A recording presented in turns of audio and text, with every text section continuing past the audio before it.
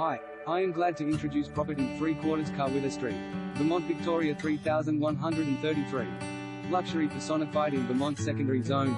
A masterpiece of contemporary design. This indulgent family home achieves perfection with its inspired layout intertwining privacy with a light-filled and spacious environment in the admired Vermont secondary zone.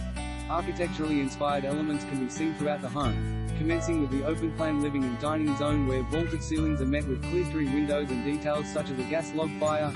The adjoining kitchen is a chef's dream boasting waterfall stone benches, twin ovens, high-end appliances plus a butler's pantry, while bifold doors extend onto a covered alfresco zone with outdoor sink and adjoining low-maintenance yard. A haven for relaxation.